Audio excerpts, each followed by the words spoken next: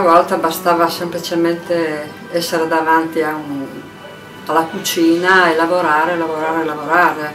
Il cuoco adesso deve informarsi, leggere, essere culturalmente eh, attivo. La cucina diciamo, è gran parte passione in quanto è una cosa detta e ridetta, però è vera, le ore non si devono contare e soprattutto non si devono contare gli esperimenti che si fanno e si rifanno. Una volta si già adopera la farina, prendimi una cipolla, adesso invece deve essere la cipolla gialla, la cipolla arancione, la cipolla di tropea piuttosto che quella di Avezzano o altri tipi, ma poi adesso proprio ci sono tantissime intolleranze e quindi il cuoco deve avere assolutamente una conoscenza approfondita. L'aiuto cuoco deve avere molta curiosità e la curiosità porta ovviamente a conoscenze sempre maggiori, sempre di tipo diverso. Quello che mi è piaciuto di questi ragazzi però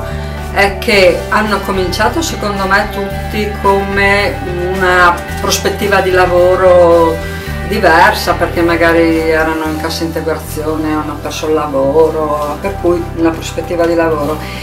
Ma si sono molto incuriositi e credo che lo prendano proprio come una, una cosa diciamo di cultura. Senza lo studio non si va avanti da nessuna parte e credo di, che loro siano abbastanza eh, istradati in questa in questa cosa, per cui penso che faranno, alcuni di loro specialmente, faranno strada, questo non è un corso di tantissime ore che possa aver dato soltanto una, una infarinatura, io spero di avergli soltanto aperto la mente al proseguio di questa avventura.